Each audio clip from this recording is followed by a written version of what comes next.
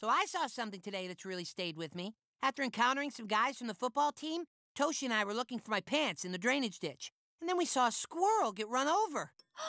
Oh, isn't that the saddest thing you ever heard, Stan?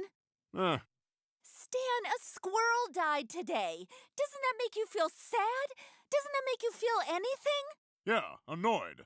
Annoyed at the squirrel for jaywalking, annoyed at Steve for losing his pants, and annoyed at the football player for not being my son.